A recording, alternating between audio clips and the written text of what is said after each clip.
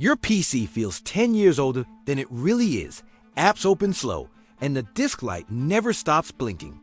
Before you blame your hardware, check if one Windows service is constantly hammering your drive. On a lot of older or budget systems, SysMain can turn a decent machine into a stuttering mess, especially if you still have a hard drive.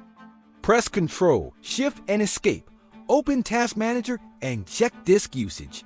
If it is pinned near 100% while you are doing nothing, right click the taskbar, open Services, and look for SysMain.